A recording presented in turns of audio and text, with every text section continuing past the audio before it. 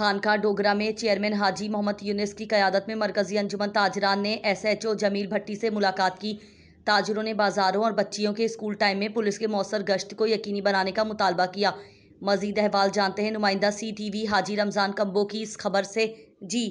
खानगा Dogra chairman Haji Mohammad Yunus की क्यादत में मरकज़ी अंजमन ताजरान ने S H O Jamil Bhatti से मुलाकात की। मुलाकात में शेख जमुर्द इकबाल, नायब सदर राना सिकंदर, जनरल सेक्रेटरी मजर कबाल शराजी, सदर क्लाथ मर्चेंट अमैर शराजी, के अलावा हमजा शेख लियाकत अली चौहान, सिकंदर हमायों, कैसर महमूद, मोहम्मद मुर्तज़ा, अब्बास अली, आज़म असलम, मीडिया कोआर्डिनेटर अंजमन ताजरान, मदसर अली भट्टी ने शिरकत की।